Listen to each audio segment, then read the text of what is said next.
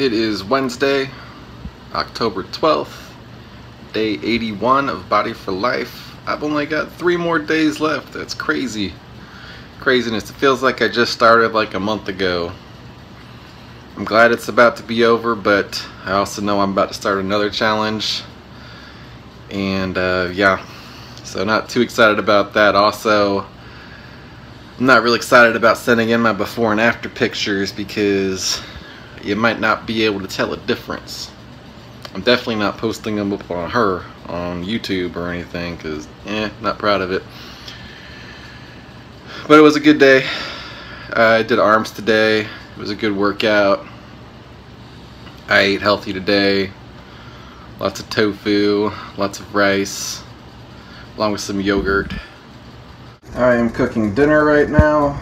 Got quarter cup of rice in here. It's a quarter cup uncooked. I'm sure it's way more cooked.